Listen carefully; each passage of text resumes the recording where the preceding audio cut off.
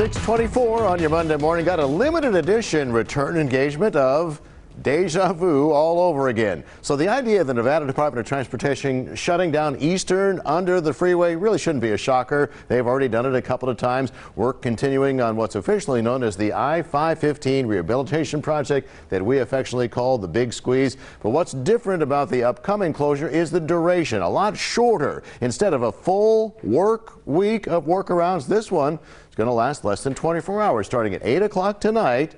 You're, they're going to be doing more work on the reconstruction of the uh, freeway bridge over Eastern.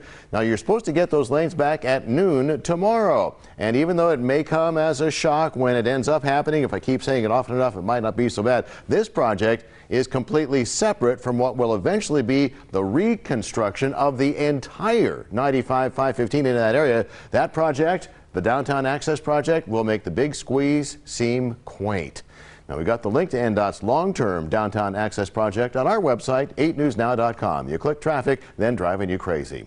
Buckle up, drive carefully, please put down that phone. If there is something driving you crazy, email me traffic8 at 8newsnow.com.